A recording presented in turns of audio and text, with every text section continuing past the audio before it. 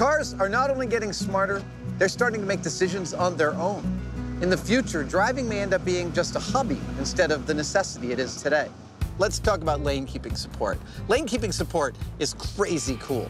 A camera placed between my windshield and my rear view mirror can detect lane markings. And if I'm moving towards those lane markers without my turn signal being on, my steering will automatically correct the drift.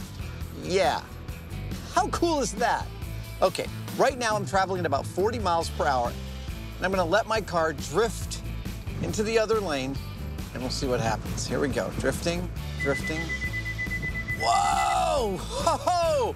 It is literally pushing me back into my lane. That is cool. Reducing human error is the goal of automation.